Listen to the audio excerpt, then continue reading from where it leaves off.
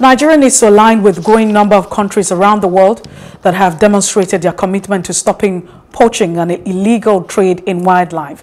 President Board of Trustees of the NCF said these on the sidelines of the Foundation 2022 annual general meeting. He also said one major milestone achievement of the foundation is was in 2021 and was launch of the new strategic action plan 2021 to 2025, which is a call to practical action by the foundation, as well as Nigerian across communities.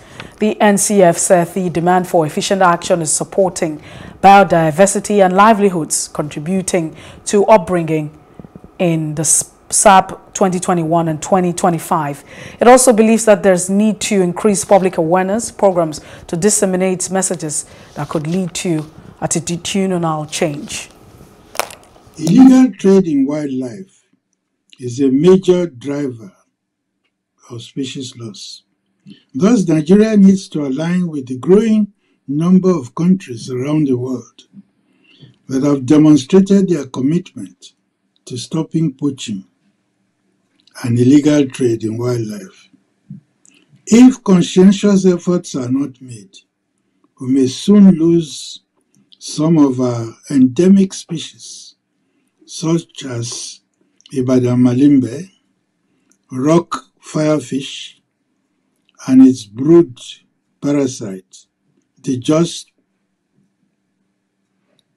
Plateau indigo bird, Anambra waxbill, white-throated monkey, etc. This fear motivated us to intensify environmental education, both in the city and among the locals.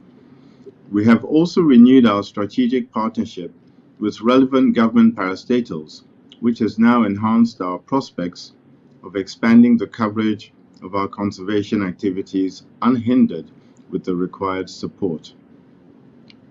Part of our observations about the reasons people care less about nature or continue to continue in practices that are destructive to the environment is ignorance of the adverse effects of these activities on nature. Hence, we increased our public awareness programs through ensuring that we use all environment days to disseminate messages that could lead to attitudinal change.